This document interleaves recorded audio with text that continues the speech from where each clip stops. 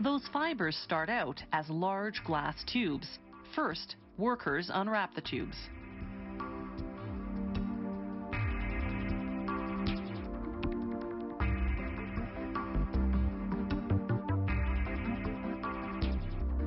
Then they submerge them in a corrosive bath of hydrofluoric acid. That removes any oil residues. Then they set a tube into each end of a lathe.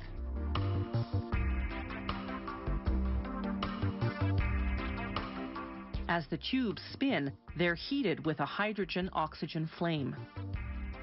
When the glass turns white, it's getting close to hitting peak temperature. At 2000 degrees Celsius, the two tubes fuse together. They put this new longer tube onto another lathe. As the tube spins, they inject a mixture of chemical gases inside, while a traversing burner heats everything up.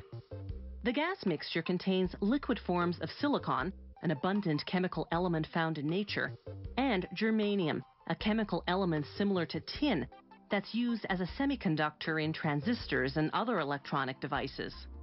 As the gases heat, they undergo a chemical reaction that leaves a white soot on the inside of the glass tube. The heat fuses the soot, forming what will eventually become the core of the optical fiber. The glass tube itself will form the fiber's covering.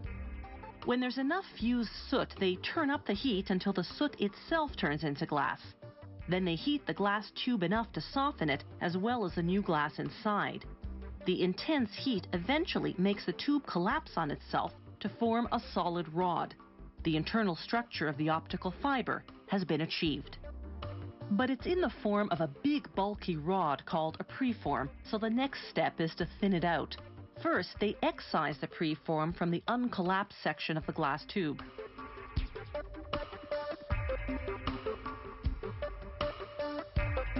Then they install it vertically into the drawing tower, which will draw out the final shape.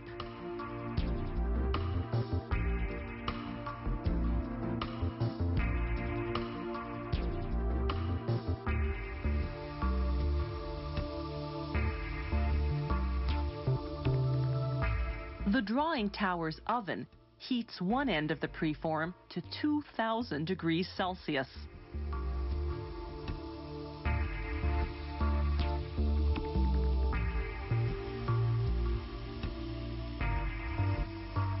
The glass softens.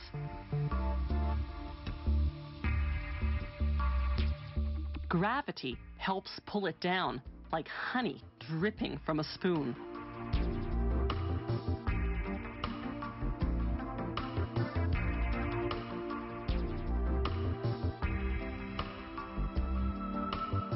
Then, using a glob of glass as a weight, they stretch the soft glass and keep stretching it until they formed a thin glass fiber. A series of pulleys measures the tension on the fiber as it's being drawn. A special monitor makes sure the fiber's precisely the right diameter, 125 micrometers. That's about an eighth of a millimeter thick. Then the fiber passes through UV lamps that bake on an acrylic coating to protect against dust and other contaminants. Finally, the fiber is rolled onto a drum. From here, it's either shipped out as is or put into a cable. Fiber optic cables are expensive to produce, but they're smaller and lighter than traditional copper cables.